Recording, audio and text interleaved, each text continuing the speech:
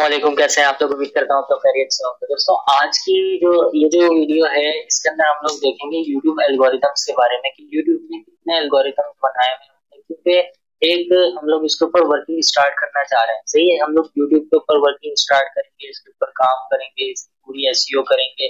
तो उसमें हम लोगों को क्या चाहिए? इसके ऊपर हम लोगों ने जब हम लोग अपनी वीडियोज़ इसके ऊपर अपलोड करेंगे तो हमें पूरा डेटा चाहिए। इसका कि इसके क्या क्या एल्गोरिथम्स हैं इसके क्या क्या टर्म्स एंड कंडीशन है इसको हमें ध्यान में रखना है। क्योंकि हम लोग ऐसे ही शुरू में जाके वीडियो अपलोड नहीं कर सकते। कि हम लोग जाए और वीडियो अपलोड कर दें कोई भी वीडियो उठा के इसके ऊपर डाल। तो अब हम लोग देख लेते हैं इसके कौन कौन से एल्गोरिथम्स हैं और ये एल्गोरिथम्स किस तरह से इसके काम करते हैं।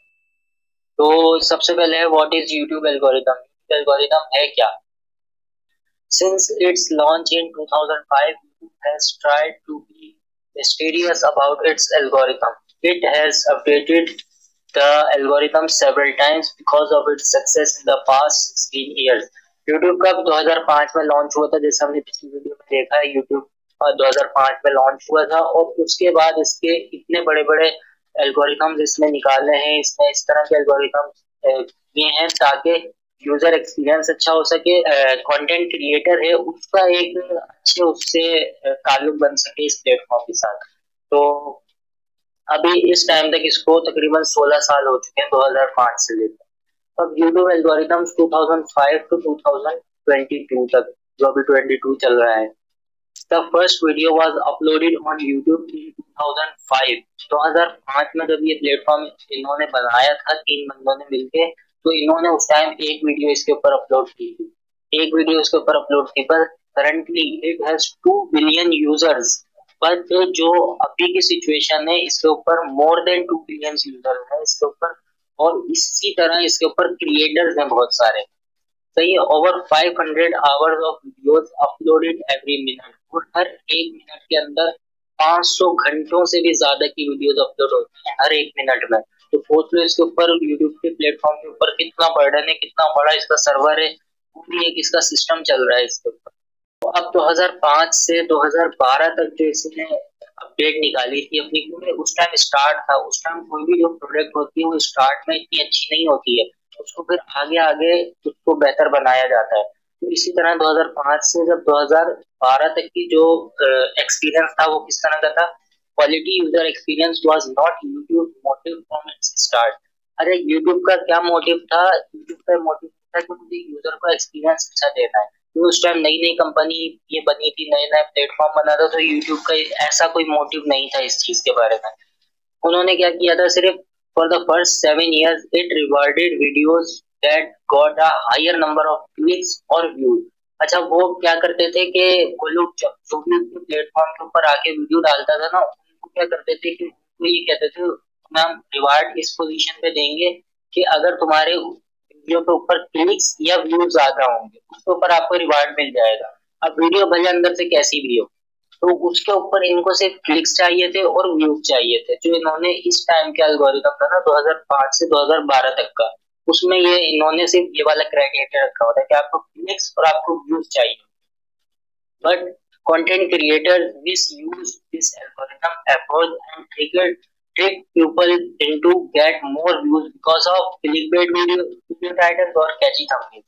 अच्छा अब जो कंटेंट क्रिएटर्स थे ना जितने भी कंटेंट क्रिएटर्स थे वो इसका नाजायज फ़ायदा इसका गलत फ़ायदा उठा रहे थे क्लिक्स और व्यूज़ का क्योंकि अब तुम्हें वॉच टाइम तो उस टाइम चाहिए नहीं था तो लोग क्या करते थे कि लोग अपनी वीडियोस के अंदर ना ऐसे ऐसे कैची थंबनेल लगा देते या ऐसे टाइटल रखते थे जो क्लिक पेट ज़ाहिर करते थे। मतलब वीडियो के अंदर कुछ है और बाहर आपको कुछ और दिखा तो अगर बारह से इन्होंने के अंदर लिया है वॉच टाइम का। वॉच टाइम क्या है कि इन्होंने ऐसे क्राइटेरिया रख दिया जिससे क्या होता था to tackle this misuse of clicks and views and improve their user experience YouTube announced an update in 2012. They prioritized considering videos that had higher attention time, videos that user actually want to watch which would ultimately lead them to spend more time on the platform.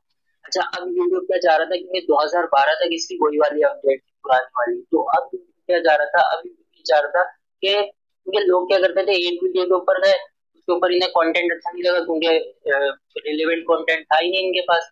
तो content अच्छा नहीं लगा, फिर लोग दूसरे platform पे जाते। अब आप लोगों ने वॉच टाइम भी इसके अंदर इंक्लूड करना। फिर क्या हुआ, फिर लोगों ने इसके ऊपर कंटेंट बनाना अच्छा कंटेंट बनाना स्टार्ट किया ताकि इसके ऊपर यूज़र ज़्यादा स्पेंड करे टाइम इस प्लेटफॉर्म के ऊपर। तो ये यूट्यूब की वो थी, ये जो एल्गोरिथम यूट्यूब 2012 में ये वाली चीज़ लेके आया वॉच टाइम की।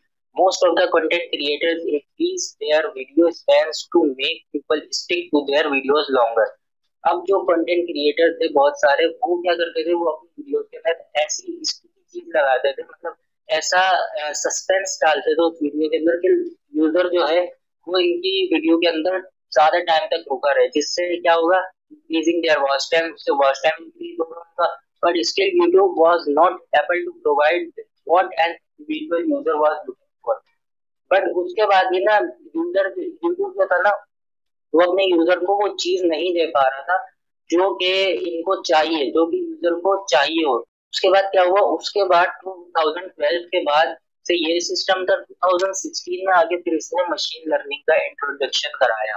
यूट्यूब के अंदर प्लेटफॉर्म आया। यूट्यूब के यूट्यूब का जो प्लेटफॉर्म है, इसके अंदर इसने मशीन लर्निंग का वो कराया इंट्रोडक्शन तो उसमें क्या था? Machine learning change the complete user experience of a YouTube user machine learning ने पूरा एक यूट्यूब का एक्सपीरियंस ही बदल दिया। यूट्यूब यूज़र जो आता है, उसको पूरा एक एक्सपीरियंस बदल दिया।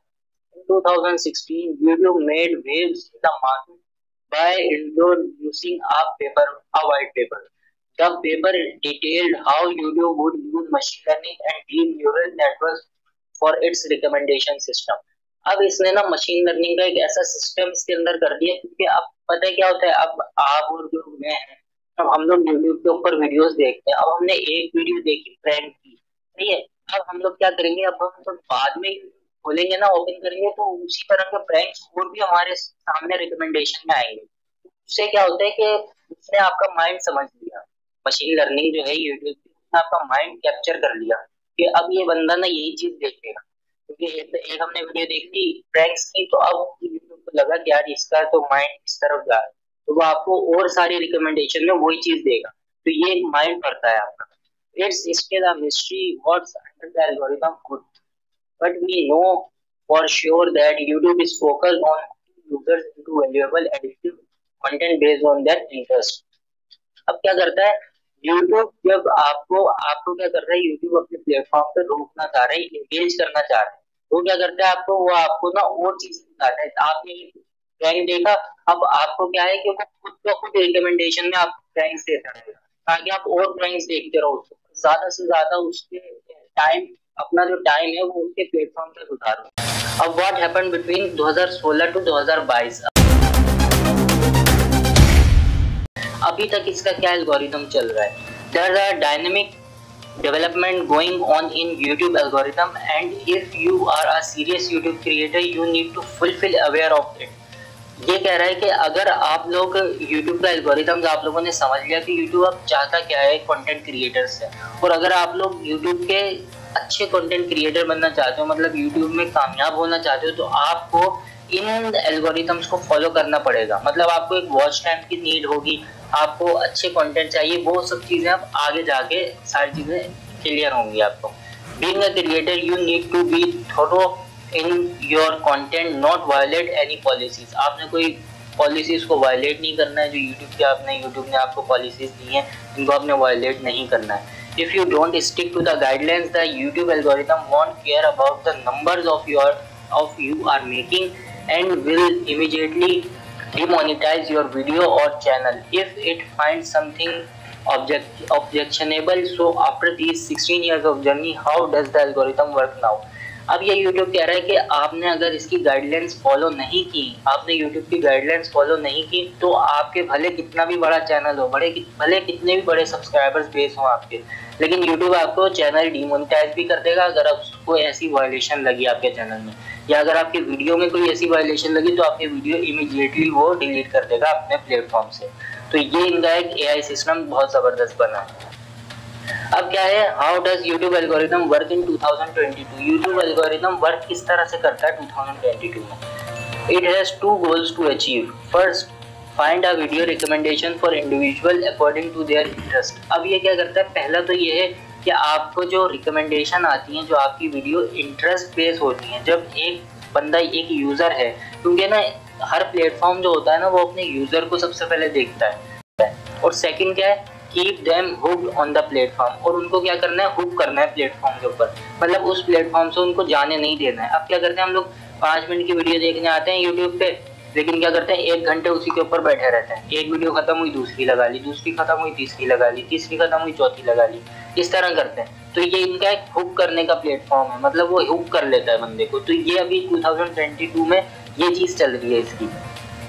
As much as the algorithm give importance to its video performance It also keeps a close eye on user behavior for better results.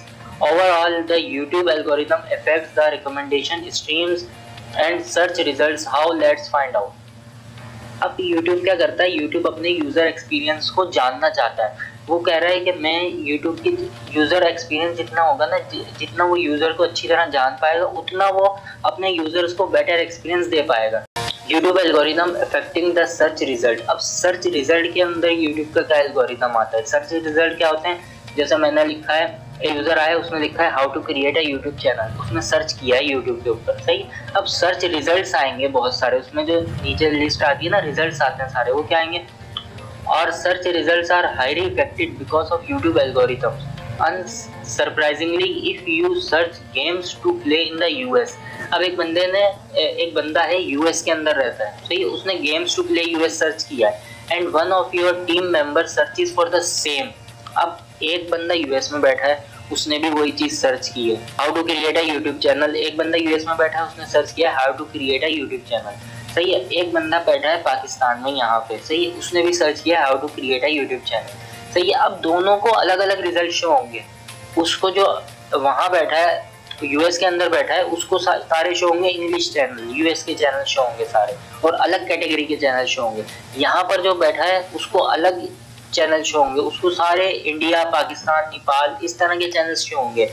The factors that will make your video pop up in a user search query are your videos comment like watch time which means the overall engagement अब ये किन किन factor के ऊपर वो होता है YouTube video comments के ऊपर होता है कि अगर आपकी वीडियो किसी ने देखी, उसने आपकी वीडियो के ऊपर कमेंट किया तो मतलब आपकी वीडियो के अंदर कुछ दम है, कुछ इंगेजिंग चीज़ है जो आपकी वीडियो के ऊपर कमेंट हुआ है लाइक हुआ है वॉच टाइम इंक्रीज हुआ है, कितनी इंगेजमेंट रेट तक लोगों ने आपको देखा है तो ये सारी चीज़ें इसके अंदर मैटर करती हैं, ये चीज़ें।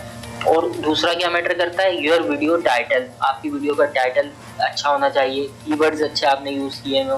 डिस्क्रिप्शन अच्छी हो which means the meta data and whether it match the user search query or not अगर जैसे आपकी वीडियो है, अब ये सारी चीज़ें हम लोग देखेंगे थोड़ी आगे वीडियोस में जाके। अभी देखते हैं कि वीडियो टाइटल डिस्क्रिप्शन कीवर्ड्स ये सारी चीज़ें अगर हमारी वीडियो के अंदर होंगी और किसी ने क्यूरी टाइप की how to create a YouTube channel और यही हमने वीडियो बनाई हुई how to create a YouTube channel सही है।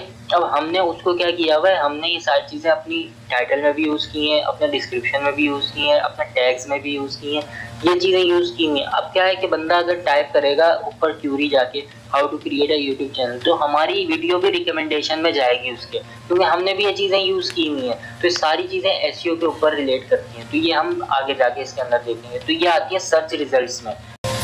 अब YouTube algorithm affected by the recommendating recommended videos अब रिकमेंडेड वीडियोस में क्या क्या आता है? The algorithm goes through a two fold process of recommendation recommending videos to a user first it rank videos based on data of their performance analytics सबसे पहले क्या होता है कि आपकी जो रिकमेंड में वीडियो आती है, वो किस, किसकी बेस पे आती है? आपकी परफॉर्मेंस की बेस पे आती है परफॉर्मेंस एनालिटिक्स आपके जितना अच्छा आपका इंगेजिंग टाइम होगा ना, जितने यूज़र्स ने देखा होगा अब सपोज़ करो एक वीडियो है पाँच मिनट की, सही है? और एक मैंने वीडियो बनाई है पाँच मिनट की, अब दूसरे ने वीडियो बनाई है पाँच मिनट की। दोनों की पाँच पाँच मिनट की वीडियो है। सही है, मेरी वीडियो के अंदर इंगेजिंग चीज़ है। सही है, मेरी वीडियो के अंदर कोई ऐसी इंगेजिंग चीज़ है जो लोगों को पसंद आ रही है, और दूसरा उसकी वीडियो के अंदर ऐसी इंगेजिंग चीज़ नहीं है, कुछ भी नहीं है। दोनों एक साथ अपलोड की, हर चीज़ एक साथ हुई, उसकी भी ऐसी मेरी तरह की हुई है, मेरी भी ऐसी अच्छी हुई हुई है। सही है, लेकिन क्या है कि अब यूज़र आया यूज़र ने मेरी वीडियो देखी, मेरी वीडियो उसको एंगेजिंग लगी। पाँच मिनट की वीडियो थी, उसने देखी चार मिनट वीडियो सही है, इसी तरह दूसरा बंदा है, उसकी जो वीडियो पाँच मिनट की, उसकी एंगेजिंग नहीं थी, लेकिन ऐसी हुई हुई थी, उसकी रैंक भी हो गई थी टॉप पे। सही है, लेकिन उसकी वीडियो के ऊपर यूज़र ने क्लिक किया, उसकी वीडियो के अंदर गया यूज़र देखा वीडियो लेकिन उसकी इंगेजिंग नहीं थी, उसने एक, डेढ़, दो मिनट देखी वीडियो और उसने छोड़ दिया। अब क्या हुआ, मेरी वीडियो इंगेजिंग थी एस भी अच्छी हुई हुई थी इंगेजिंग भी थी तो यूज़र चार मिनट तक देखा यूज़र ने। तो ये अब क्या हुआ? यूट्यूब के एल्गोरिथम को पता चला ही है कि भाई, ये वाली जो वीडियो है ना, ये जो वीडियो है, ये वाली जो, इसमें इंगेजिंग टाइम अच्छा है यूज़र इसको देर तक देख रहा है तो इसमें कुछ ना कुछ क्वालिटी है तो वो क्या करेगा? मुझे उस रिकमेंडेशन में सबसे ऊपर रखेगा वो, क्योंकि मेरी इसके अंदर अच्छी, उस कैटेगरी के अंदर, उस कैटेगरी की बात हो रही है। जो कैटेगरी आपकी वीडियो की है, उस कैटेगरी के अंदर आपको सबसे ऊपर रखेगा ताकि आप, क्योंकि उसको पता है कि इसकी परफॉर्मेंस अच्छी जा रही है, इसकी रिकमेंडेशन में इसको ज़्यादा अच्छी ट्रेंडिंग के ऊपर रखेगा और दूसरा क्या है सेकंड क्या है इसका it's matches it matches videos based on the user history and the similar content they have watched earlier अब ये क्या है कि जैसे मैंने अभी आपको थोड़ी देर पहले समझाया कि जैसे हम लोग प्रैंक्स देखते हैं, सही? है प्रैंक देखा हमने, अब हमारी हिस्ट्री के अंदर प्रैंक सेव हो गया है, जो कैशी होती है ना यूट्यूब की कैशीज अलग हैं वेबसाइट्स की कैशीज अलग हैं, जो आपका ना डेटा सेव कर लेती हैं। कि अब इस बंदे ने ना ये चीज़ देखी है पहले, सही है? तो अब क्या है यूज़र के यूट्यूब के जो प्लेटफॉर्म है, उसके अंदर चला गया कि भाई ये वाला जो यूज़र है ना, इसने अभी प्रैंक देखा है। तो क्या होगा कि जब हम लोग रिकमेंडेशन देखेंगे ना तो उसके अंदर हमारे प्रैंक प्रैंक्स शो होंगे। जो जो प्रैंक्स जिस, जिसने बनाया होगा, वो शो होता रहेगा। क्योंकि यूज़र को ना प्लेटफॉर्म इसको यूट्यूब को ना, आपके माइंड का सिस्टम पता चल गया कि ये बंदा प्रैंक्स ज़्यादा देख रहा है। सही है? तो आपकी वो हिस्ट्री चेक करता है पहले की, कि ये बंदा देख क्या रहा है, पहले ताकि इसको उसी तरह का कंटेंट दिखाएँ, ताकि ये हमारी प्लेटफॉर्म के ऊपर इंगेज हो जाए। अब नेक्स्ट क्या है? नेक्स्ट है five tips to make the algorithm work for you अब क्या है कि वो तो हमारा था यूज़र के लिए। पहले हमने यूज़र की चीज़ समझनी होगी कि यूज़र क्या क्या चीज़ चाहता है। फिर हम, क्योंकि हम कंटेंट क्रिएटर हैं, हम यूज़र बेस के ऊपर काम करते हैं। हमें क्या है कि हम यूज़र को देख के चलेंगे। अगर हमारी वीडियोस में दम होगा ना यूज़र देखेगा वीडियो तो ही तो हमें फ़ायदा होगा। हम वीडियो बनाते रहेंगे यूज़र देख ही नहीं रहा तो हमें क्या फ़ायदा होगा? तो हमें यूज़र के एक्सपीरियंस को समझना पड़ेगा पहले। सही है? तो इस वजह से पहले जो मैंने आपको चीज़ें समझाई हैं सारी यूज़र एक्सपीरियंस की अब ये आपको बताएगा कि आपको अब अपनी वीडियोज़ के अंदर क्या क्या इंक्लूड करना है तो आपका यूज़र बेस अच्छा बने। फ़र्स्ट क्या है? Video description is the most underrated weapon video description जो है, वो आपकी बहुत मायने रखती है इस चीज़ के अंदर। जब भी आप वीडियो अपलोड करोगे ना तो वीडियो के डिस्क्रिप्शन जो है, वो बहुत अहमियत रखेगी आपकी उस पर the next you see underneath your video after uploading can work as a gold mine for you you should not take your video description lightly आप अपनी वीडियो की जो डिस्क्रिप्शन है, उसको लाइटली ना लेना। क्योंकि जब आप वीडियो अपलोड करते हो ना तो आपकी जो डिस्क्रिप्शन होती है ना, वो बहुत ज़्यादा अहमियत रखती है इस चीज़ के अंदर। You should invest time crafting a valuable and SEO focused video description आपको जितना भी टाइम आपको लेना है, आप वीडियो के बनाते हुए डिस्क्रिप्शन लिखते हुए टाइम लो। जो भी आपकी वीडियो के अंदर आपने बताया है, वो उसमें से की पॉइंट्स लिखो अपने वीडियो के अंदर डिस्क्रिप्शन के अंदर, ताकि जब आपको उसके अंदर कीवर्ड्स ऐसे यूज़ करो जो आपकी वीडियो की रैंकिंग के अंदर मदद करेंगे। सेकंड के ऊपर चलते हैं तो बीइंग कंसिस्टेंट आपको कंसिस्टेंट रहना है। तो क्या होता है being consistent with your content will help you to get in a good books of your YouTube algorithm या आपके एल्गोरिदम में वर्क कर यूट्यूब के क्रॉलर्स जो हैं, जो आपके क्रॉल करते हैं, आपके कंटेंट को, वो सिर्फ़ आपके उसी वक्त आते हैं जब आप वीडियो अपलोड करते हो। अब जब आपका नया चैनल है तो यूट्यूब आपको और ज़्यादा बूस्ट देता है। तो ये आप वीडियो अपलोड करिए, आप टाइम एक सेलेक्ट करो कि मैं इस टाइम पे वीडियो अपलोड करूँगा और उसी टाइम पे वीडियो अपलोड करो।